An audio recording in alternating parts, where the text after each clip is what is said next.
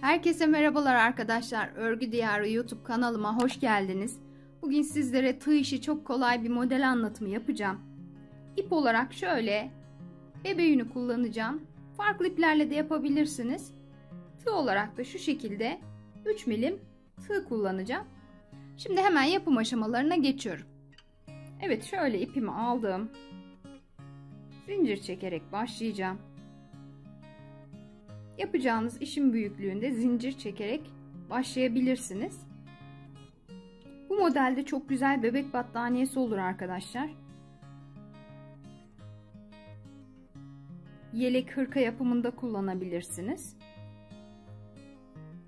Lif olarak da yapabilirsiniz. Ben burada kısa bir anlatım yapacağım.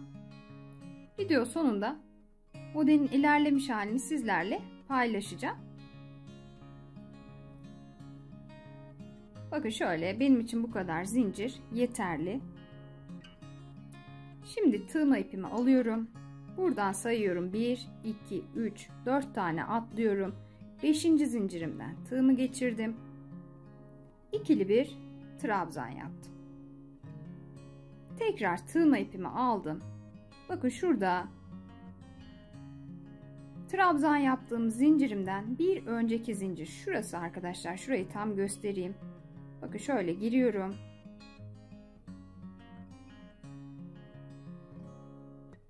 Şu şekilde şuradan da şöyle göstereyim. Tığımı geçirdim. İpimi uzatıyorum. Tekrar tığımı ipimi aldım. Aynı noktadan buraya fıstık yapacağım arkadaşlar. 2 3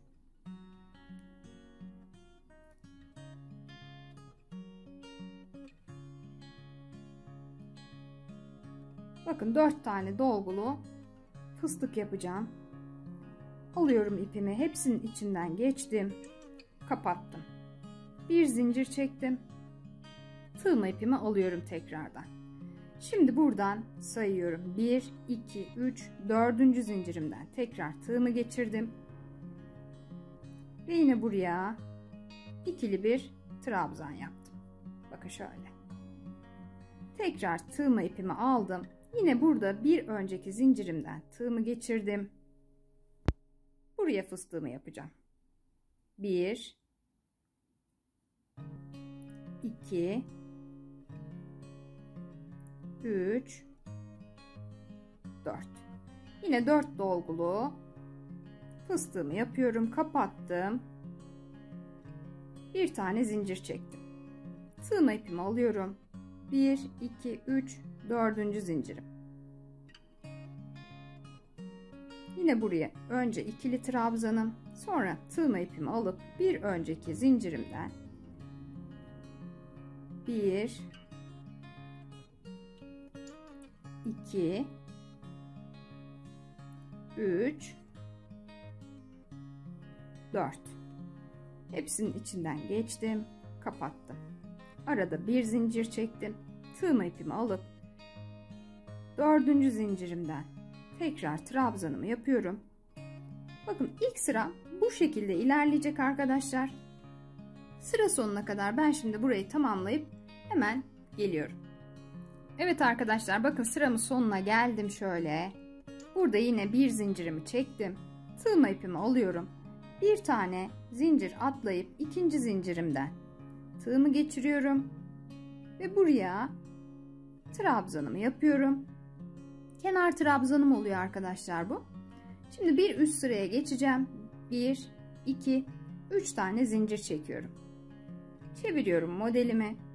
Tığımı ipimi aldım. Şimdi burada bakın şu fıstığımın alt sırada fıstığımı birleştirdiğim noktada tığımı geçirdim. İkili bir trabzan yaptım yine. Şimdi burada yine fıstık yapacağım. Fıstığımı tığma ipimi aldım. Şu alttaki ara boşluğundan yapacağım arkadaşlar. Şuradan. Tığımı geçirdim. ipimi aldım ve uzattım. 1 2 3 4 Aynı şekilde 4 tane dolgulu fıstığımı yaptım, kapattım. arada bir zincir çektim. Tığma ipimi alıyorum. Bir sonraki fıstığımın tam tepesinden tığımı geçirdim. İkili trabzanımı buraya yaptım. Bakın şöyle. Tekrar tığma ipimi alıyorum. 1 2 3 4 Yine bu şekilde 4 tane dolgumu yaptım. Kapattım. Bir zincir çektim. Tığma ipimi aldım. Hemen bir sonraki fıstığımın bakın şuradan tepe noktasından girdim. İkili trabzan. Tığma ipimi alıyorum. Yine buradaki boşluğumdan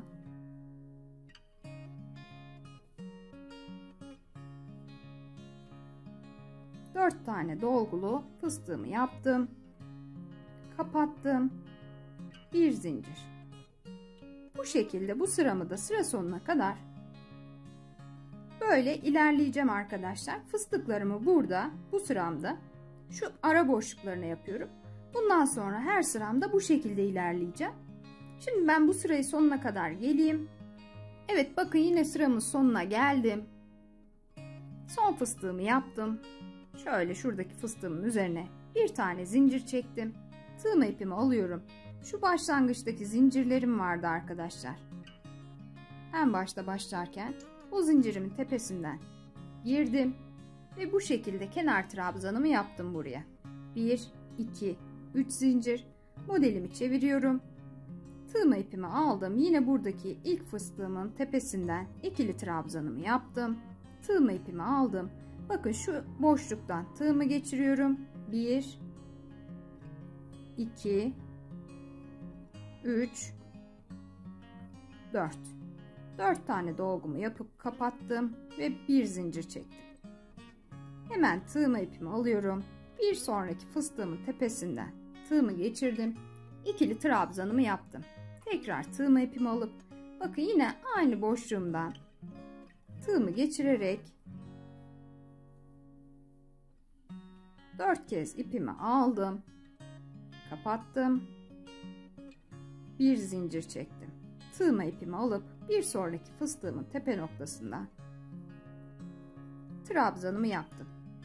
Bundan sonra farklı bir işlemim yok arkadaşlar. Dediğim gibi model çok çok kolay ve gerçekten çok şık duruyor.